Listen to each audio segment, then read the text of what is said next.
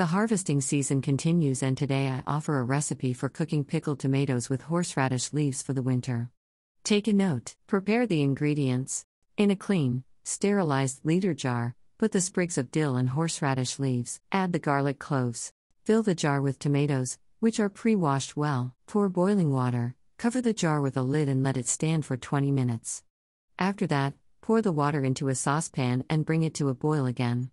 Pour boiling water over the tomatoes a second time and let stand again for 20 minutes. Then drain the water into a saucepan. Before you pour boiling water into a jar of tomatoes for the third and last time, add sugar, salt, and an aspirin tablet to it, which you need to crush. Fill the tomatoes with hot water for the third time, roll up the jar with a lid and send it to the pantry. Turn the jar upside down and cover it with a blanket. Keep it like this until the jar is completely cooled. Store canned tomatoes in a cool room.